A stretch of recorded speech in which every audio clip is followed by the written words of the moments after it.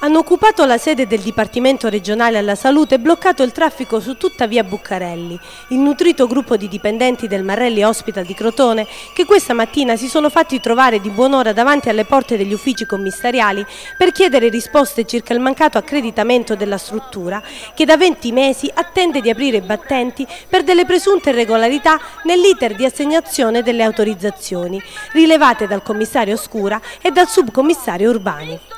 ed in particolare proprio nei confronti di Urbani che il titolare del Marrelli Hospital, Massimo Marrelli, ha espresso tutto il suo disappunto. Da una parte abbiamo sentito le esternazioni del commissario Scura che ha raccontato soltanto delle frasi di circostanza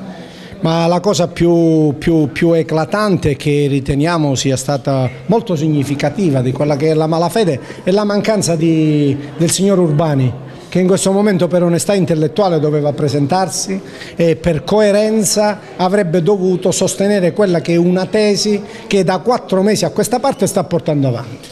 E quindi questo diventa inaccettabile, perché è evidente che è significativo di, un, di una lobby, di un accordo, va bene, che non so di, chi sia il regista di tutto questo, ma che sicuramente lui ne fa parte, dove eh, hanno oh, pianificato quella che deve essere la gestione della sanità in Calabria e il fatto che sia esclusa Crotone e il fatto che sia escluso il Marrelli Hospital da tutto questo o a margine tenuto in considerazione, questo non è accettabile. Immediata la risposta del commissario ad acta per la sanità calabrese Massimo Scura, il quale ha cercato di sedare gli animi rassicurando «Tifo per voi, perché l'apertura di questo ospedale potrà contribuire alla diminuzione della mobilità passiva». Non ci sono, non ci sono lobby, non ci sono combin, ci sono ci sono state grandi difficoltà nelle precedenti strutture commissariali perché, eh, perché come dice la nuova legge,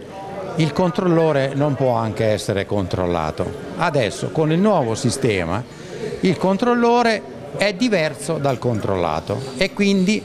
ha tutto il dovere e anche l'orgoglio, se mi consentite, di cercare di fare del proprio meglio per sviluppare la eh, sanità calabrese che è ridotta obiettivamente a a un uh, livello bassissimo. Faccio il tifo per Marrelli, prima di tutto per i, per i, lavoratori di Marrelli, come ho fatto il tifo e mi sono impegnato per i lavoratori della Campanella. Faccio il tifo per i lavoratori di Marrelli perché tra l'altro opportunisticamente con questa attivazione del, eh, della clinica Marrelli ridurremo anche la mobilità passiva per la parte di competenza delle, delle funzioni che vengono svolte eh, in Marrelli.